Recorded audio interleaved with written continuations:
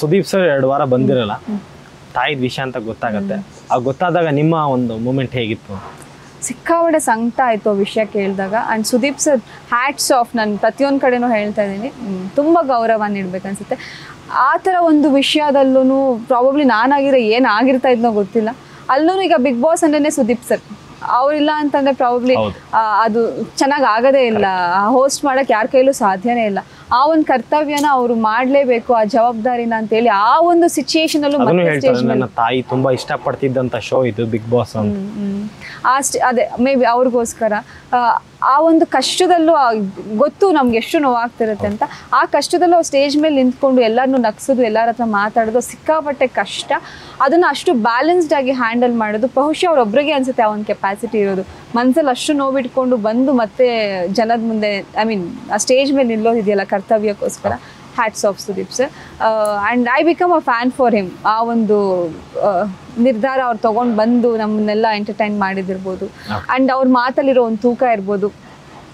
ತುಂಬ ಸಿಚುಯೇಷನ್ಸ್ಗಳನ್ನ ಎಷ್ಟು ಬ್ಯೂಟಿಫುಲ್ ಆಗಿ ಹ್ಯಾಂಡಲ್ ಮಾಡ್ತಾರೆ ಅಂತಂದ್ರೆ ಒಂದು ತಪ್ಪು ಕಂಡಿಡೀರಿ ನೋಡೋಣ ಅವ್ರ ಮಾತಲ್ಲಿ. ಚಾನ್ಸೇ ಇಲ್ಲ ಇಲ್ಲ. ಅಷ್ಟು ಸ್ಪಷ್ಟತೆ ಇರುತ್ತೆ ಅಷ್ಟು ದೃಢತೆ ಇರುತ್ತೆ ವೇಟೇಜ್ ಇರುತ್ತೆ ಅವ್ರ ಮಾತಲ್ಲಿ. ತುಂಬಾ ಇಷ್ಟ ಆಗ್ತಾರೆ ಓಕೆ ಪ್ರತಿ ವಾರ ಬಂದಾಗ ಕಿಚನ್ ಚಪ್ಪಾಳೆ ಇದ್ದೇ ಇರುತ್ತೆ. ನಿಮಗೆ ಯಾವ ಮೂಮೆಂಟ್ ಸುದೀಪ್ ಸರ್ ಹೇಳಿದ್ದು ವಾವ್ ಮೂಮೆಂಟ್ ಅನಿಸ್ತು? ಯಾವ ಒಂದು ಮಾತು ವಾವ್ ಮೂಮೆಂಟ್ ಅನಿಸ್ತು? ಅವ್ರು ಮಾತಾಡೋದೆಲ್ಲಾನು ನಾನು ಈ ಹಿಂದೆನೂ ಹೇಳಿದ್ದೀನಿ ಮಾತಾಡೋ ಪ್ರತಿಯೊಂದು ಮಾತಿಗೂ ಚಪ್ಪಾಳೆ ಹೊಡಿಬೇಕನ್ಸುತ್ತೆ. ಅಷ್ಟು ಸ್ಪಷ್ಟತೆ ಇರುತ್ತೆ ಅಷ್ಟು ತಿಳ್ಕೊಂಡಿದ್ದಾರೆ ಅಷ್ಟು ನಾಲೆಜ್ ಇದೆ ಸುದೀಪ್ ಸರ್ಗೆ. ನನಗೆ ಕಿಚ್ಚನ ಚಪ್ಪಾಳೆ ಸಿಕ್ಕಲಿಲ್ಲ ಅಂತ ಬೇಜಾರಾಗಿತ್ತು ಒಳಗಡೆ ಬಟ್ ಆಚೆ ಬಂದಾಗ ನನ್ನ ಕಣ್ಣೀರ್ನ ಒರೆಸ್ತಾರೆ ಸುದೀಪ್ ಸರ್. ಕರೆಕ್ಟ್ ಅದಕ್ಕಿಂತ ಬಹುಮಾನ ಇನ್ನೇನಿದೆ ಅಲ್ವಾ? ಅವ್ರ ಕೈಗಳಲ್ಲಿ ನನ್ನ ಕಣ್ಣೀರು ಒರೆಸೋದು. ಚಪ್ಪಾಳೆ ತಗೊಂಡಿದ್ದಕ್ಕಿಂತ ಜಾಸ್ತಿ ಖುಷಿ ಆಯಿತು. ಸುದೀಪ್ ಸರ್ಗೆ ಅವ್ರ ವ್ಯಕ್ತಿತ್ವಕ್ಕೆ ತುಂಬಾ ಇಷ್ಟ ಅವ್ರ ವ್ಯಕ್ತಿತ್ವಕ್ಕೆ ನಂಗೆ ತುಂಬಾ ಇಷ್ಟ ಆಯ್ತು ಅವ್ರ ವ್ಯಕ್ತಿತ್ವ.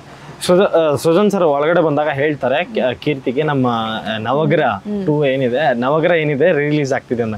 ಆ ಮೂಮೆಂಟ್ ನಿಮ್ಗೆ ಏನು ಅನಿಸ್ತು ಅಂತ? ನಾನ್ ಧರ್ಮಂಗೆ ಧರ್ಮ ಒಳ್ಳೆ ಕಂಬ್ಯಾಕ್ ನಿಮ್ಗೆ. ಇವ್- ಇವಾಗ ಒಂದು ಒಳ್ಳೆ ಟೈಮಲ್ಲಿ ರಿಲೀಸ್ ಆಗ್ತಾ ಇದೆ. ಬಿಕಾಸ್ ಇವಾಗ ಬಿಗ್ ಬಾಸ್ ಅಲ್ಲಿ ಇದ್ದಾರೆ ಅಫ್ಕೋರ್ಸ್ ಇಡೀ ಕರ್ನಾಟಕ ಅವರು ನೋಡ್ತಾ ಇರುತ್ತೆ. ಮೀನ್ ವೆಲ್ ನವಗ್ರಹ ರಿಲೀಸ್ ಆಗ್ತಿದೆ. Navagraha blockbuster hit movie ನನಗಂತೂ ಫೇವ್ರೆಟ್ ಮೂವಿ ಅದು. ಅಂಡ್ ಧರ್ಮನ್ನ ನಾನು ಫಸ್ಟ್ ಟೈಮ್ ಆಕ್ಚುಲಿ ನಾನು ನೋಡಿದ ಫಸ್ಟ್ ಆಕ್ಟರು ನನ್ನ ದರ್ಶನ್ ಸರ್ ನವಗ್ರಹ ನವಗ್ರಹ ಅಲ್ಲ ಸಾರಥಿ ಪ್ರಮೋಷನ್ಸ್ ಬಂದಿರ್ತಾರೆ. ಬಟ್ ನವಗ್ರಹ ಟೀಮ್ ಪೂರ್ತಿ ಇರುತ್ತೆ. ಅವಾಗ ಹೋಗ್ಬಿಟ್ಟು ಧರ್ಮಂಗೆ ಹಾಯ್ ಅಂತ ಹೇಳಿರ್ತೀನಿ ನಾನು.